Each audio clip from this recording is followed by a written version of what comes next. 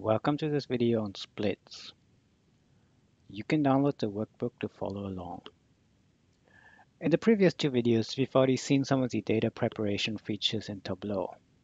Here we will look at another tool, namely the split function. As the name suggests, this lets you split a column into two or more separate columns.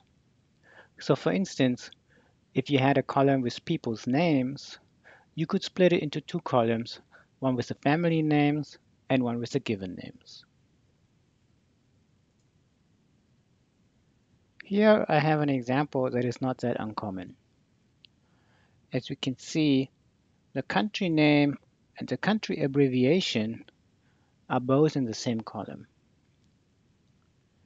I can separate these two by going into the menu and clicking on Split. The algorithm will look for a sensible way to split up the data, and in this case, we now get our two columns, one for country and one for the country abbreviation.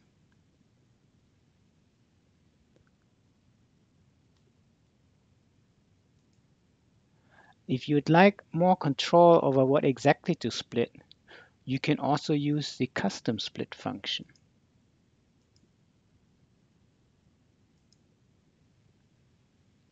For example, I can choose to split at the space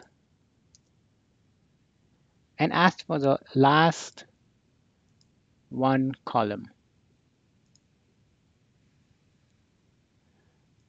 This will just extract the abbreviations out of the first column.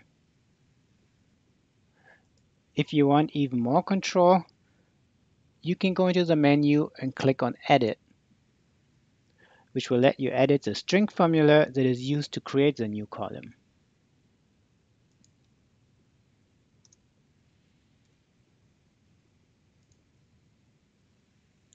As you can see, splits, custom splits, and string formulas can help when we're cleaning up messy data sets.